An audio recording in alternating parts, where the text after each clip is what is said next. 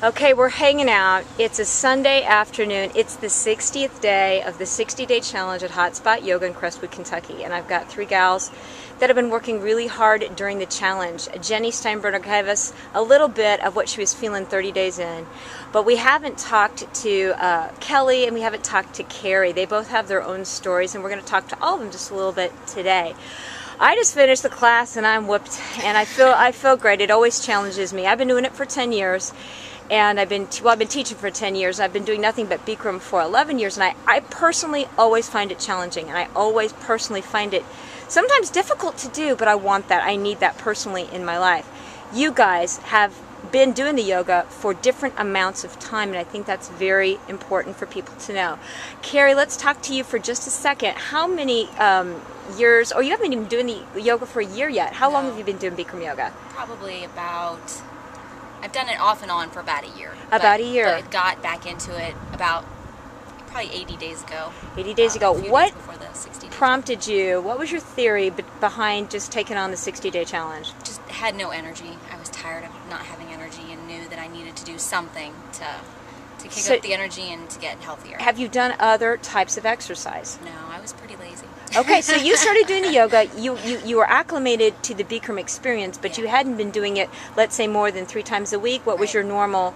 Your normal? Probably two to three times a week in the beginning. Okay, so when you the, took on that challenge, how many times a week were you able to come? Probably about five to six. That's amazing. Yeah. That's really great. Yeah. What were some of the changes that you've noted? A lot you, more energy. More energy. Yeah, a lot okay. more energy, and just felt better all around and my back didn't hurt as much at work, and it was just easier to get through the day. So I love great. that. Yeah. Do you mind telling me how old you are? Oh yeah, uh, if I can think of how old I am, 35. 35 yeah. years of age. You guys are all about the same, and within the same age frame, and I think that's really great to know. We've got people in their 40s, their 50s, their 60s. Then we got Jenny, the old lady in the back.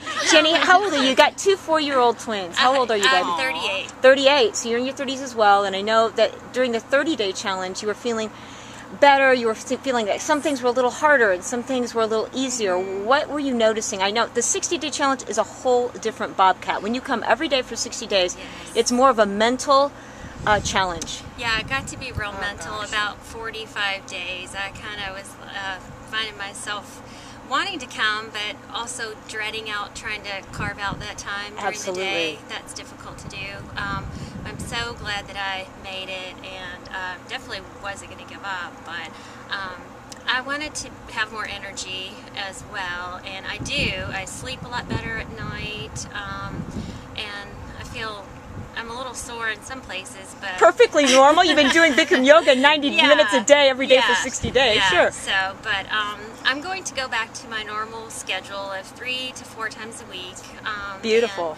Uh, I look forward to continuing my practice because there are lots of areas for improvement. I think that's great. I, I, every year I seem to change, and as I get older, some things actually get better, and that that's that's nice for me to know, and keeps me going.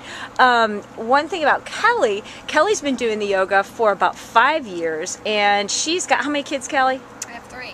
You have three kids, and you have a full time job, don't you? I do and um, you were able to carve out time to come to Hotspot Yoga every day for 60 days, and I think that's a that's a big fat deal, and I think it's really uh, a tribute to yourself, and, and it's it was a challenge to you mentally. mentally um, you had been doing the yoga pretty regularly for five years, but yeah. doing it every day is different. And what what did you notice was it's, it's the biggest challenge? Having a full time job. I mean, when I did it, when I first started, and I stayed home with my kids every day.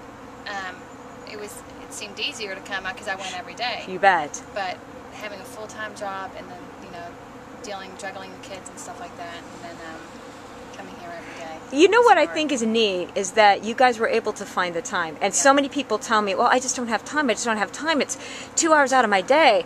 Well, you're getting it all done. Yeah. You're getting five points of fitness, cardio, core, fat burning, the whole, and anybody can do it. You don't have to be a freaking rock star athlete to come in here and start it.